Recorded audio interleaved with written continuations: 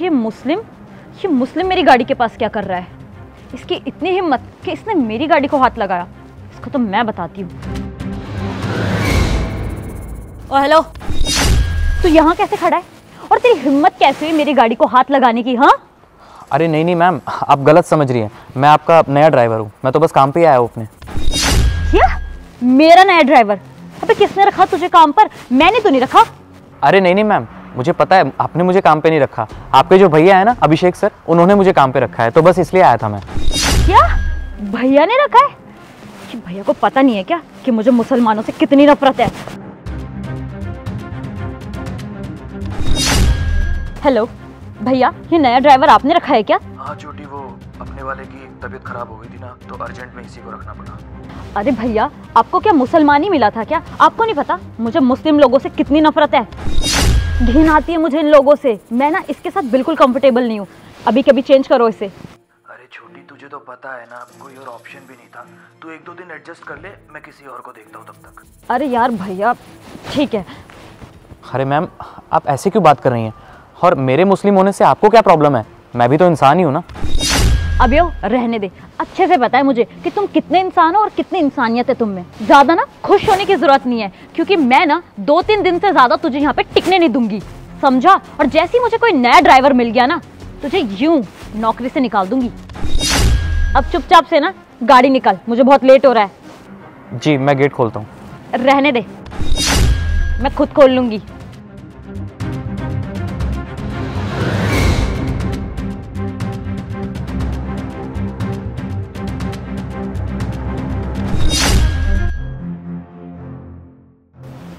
यार।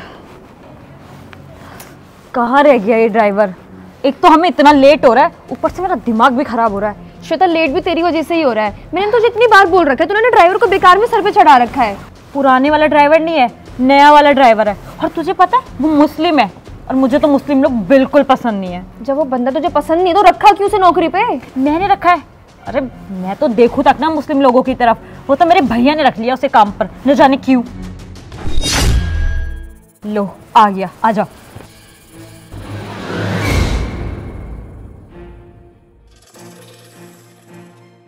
अब sorry madam मैं जानता हूँ मैं लेट हो गया। वो एक्चुअली मैं गाड़ी लेके ही आ रहा था रास्ते में ना गाड़ी पंचर हो गई इसलिए मैं लेट हो गया। आई एम रियली सॉरी एक तो लेट हो जाते हो उसके बाद बहाने बनाते हो कि ये हो गया वो हो गया। मैंने जब तुम्हें एक घंटे पहले कॉल कर दिया था कि टाइम पर आ जाना तो तुम टाइम पर क्यों नहीं आए? यार तुम्हारी वजह से ना हम लेट हो गए। हमें पार्टी में जाना है। नहीं नहीं मैम मैं सच बोल रहा हूँ। सच में टायर पंचर हो गया था इसलिए मैं लेट हो गया। लेकिन मैं प्रॉमिस करता हूँ आज के बाद कभी लेट नहीं होऊँगा एक ही दिन हुआ है तुम्हें काम पर रखे हुए और तुमने अभी से काम चोरी स्टार्ट कर दी। अब चुपचाप से ना चलो मुझे बहुत लेट हो रहा है मेरे सारे फ्रेंड्स आ गए पार्टी में। जी मैडम।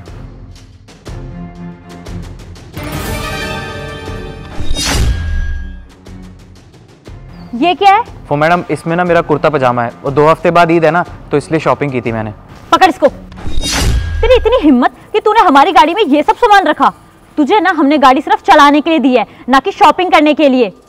ओह तो अब समझी मैं, गाड़ी का ना कोई टायर पंचर नहीं हुआ था। तू बहाने कर रहा था, तू शॉपिंग कर रहा था, है ना?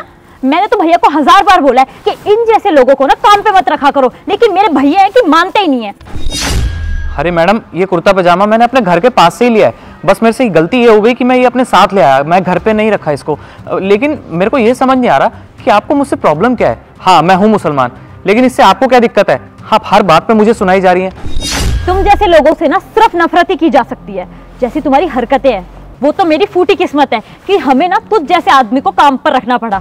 अगर मेरे पास कोई दूसरा ऑप्शन होता ना तो तुझे मैं काम पर कभी नहीं रखती। कब का निकाल चुकी होती धक्के मार कर बस मैडम आपने बहुत बोल लिया और मैंने बहुत सुन लिया। अरे आप जब से जो भी मुँह में आ रहा है बोले जा रही है बोले जा रही है। मैं चुप हूँ इसका मतलब ये नहीं कि मैं आपको कुछ कह नहीं सकता। अब मैं और जिल्लत नहीं सहूँगा। अच्छा ऐसी जिल्लत तो और नहीं सहेगा। क्या करेगा तू? तू ना ड्राइवर है तो ड्राइवर बन के रह समझा? ड्राइवर हूँ नहीं ड्राइवर था। आपको मुझसे बहुत ज़्यादा दिक्कत है ना? तो ठीक है अपने लिए दूसरा ड्राइवर ढूंढ लीजिएगा क्योंकि मुझे अब ये नौकरी नहीं करनी। चलता हूँ। खुदा हाफिज। और ये रखिए गाड़ी की चाबी। अरे सुन तो सही रुक। यार ये तो चला गया।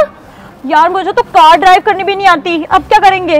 पार्टी के लिए भी लेट हो रहे हैं। एक काम करते हैं जल्दी जल्द कैब बुक करते हैं। हाँ। यार कितनी ठंड हो रही है। रात भी बहुत ज़्यादा हो गई। भैया को फ़ोन करती हूँ कहाँ तक पहुँचे? हेलो?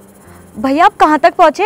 अरे वो ना एक अर्जेंट मीटिंग आ गई तो एक काम कर तू कैब करके आ जा। लेकिन भैया इतनी रात को कैब कैसे करूँ मैं? अकेले आऊँगी? शिट मेरा फ़ोन स्विच ऑफ़ हो गया। अब क्या करूँ मैं? एक काम करती हूँ लिफ्ट ही मांग लेती हूँ लेकिन इतनी रात को मुझे लिफ्ट देगा कौन? अरे वो देख कितनी सुंदर लड़की खड़ी है इतने सुनसान रास्ते पर। अरे हाँ यार बोल तो बिल्कुल सही रहा है। लग भी एकदम मस्त रही है बिल्कुल लाल परी जैसी लग रही है। चला इसके मज़े लेके आते हैं। चल।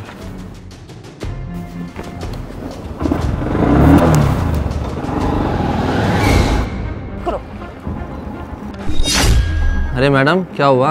अभी तो आप हाथ दे रहे थे। अब हमें देख के मुँह क्यों फेर रहे हो? अब आ भी जाओ ना आपको लिफ्ट दे देते हैं। अब मुझे कोई लिफ्ट नहीं चाहिए आप लोग जाइए। अरे मैडम बैठ जाओ ना।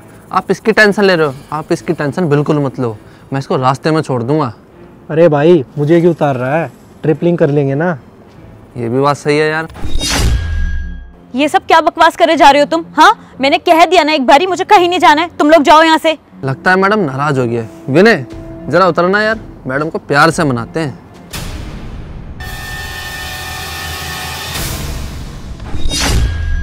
अरे बहन तू? तू? लगता है भैया आ गए। तू यहाँ क्या कर रही है? और वो भी इतनी सुनसान सड़क पे? तो अभी तक घर नहीं गई? अरे वो अब वो अरे क्या वो वो? और तेरा फ़ोन भी स्विच ऑफ़ आ रहा है। कब से कॉल कर रहा हूँ? अब वो मेरा फ़ोन स्विच ऑफ़ हो गया था इसीलिए मैं आपको कांटेक्ट नहीं कर पाई। विनय फटाफट बैठ कहीं हमें कुछ बोल ना दे। हाँ हाँ जल्दी चल। अरे मैम आप ठीक तो हो ना? और वो सॉरी मैंने आपको बहन बोल दिया। वो उनके सामने बोलना पड़ा ताकि वो लोग निकल जाएँ। अरे नहीं नहीं आप सॉरी मत बोलिए। मुझे तो आपको थैंक यू बोलना चाहिए जो आप सही टाइम पर आ गए मुझे बचाने। वरना आज पता नहीं क्या ही हो जाता। लेकिन आप अचानक से यहाँ कैसे? वो मैम आपके यहाँ से तो मैं काम से निकल गया। तो बस यहीं पास में दुकान है वहाँ पर मैं काम मांगने आया था। तो वहाँ से मैं आ रहा था तो मैंने देखा कि ये लोग आपको छेड़ रहे हैं। तो बस यहाँ पर मैं आ गया आपकी हेल्प करने। अच्छा आपका बहुत बहुत शुक्रिया आज मेरी मदद करने के लिए। आई एम रियली सॉरी मैंने आपके साथ बहुत बुरा बर्ताव किया। सिर्फ़ और सिर्फ़ आपके धर्म को लेकर मुझे माफ़ कर दीजिए। मुझे अफसोस है कि मैंने ऐसी गलती की। नहीं नहीं मैम आप सॉरी मत बोलिए। इसमें आपकी कोई गलती नहीं है। आजकल समाज में ऐसी सोच बनी हुई है सबकी। एक दूसरे के सब दुश्मन बने बैठे हैं। लेकिन जब तक हिंदू, मुस्लिम, सिख, ईसाई आपस में मिल बांट के नहीं रहेंगे, साथ नहीं रहेंगे, तब तक ये नफ़रत ऐसी ही चलती रहेगी। हमें अपनी सोच बदलनी पड़ेगी। और देखना, जिस दिन ये सोच बदली ना, उस दिन हिंदुस्तान भी बदल जाएगा और सब कुछ ठीक हो जाएगा। आपने बिल्कुल सही कहा। आज से ना मैं किसी को किसी के धर्म से जज नहीं करूँगी। अगर आपने मुझे माफ़ कर ही दिया है तो मैं आपसे बस एक चीज़ मांगना चाहूँगी कि आप मेरे पास वापस आ जाए काम करने। देखिए प्लीज़ मना मत करना, वरना मुझे लगेगा आपने मुझे दिल से माफ़ नहीं किया है। प्लीज़ आप काम पर वापस आ जाइए। मैम, आप एक काम कीजिए, आप मेरे साथ आइए, मेरी बाइक यहीं पे खड़ी है, मैं आपको घर तक छोड़ देता हूँ। आइए।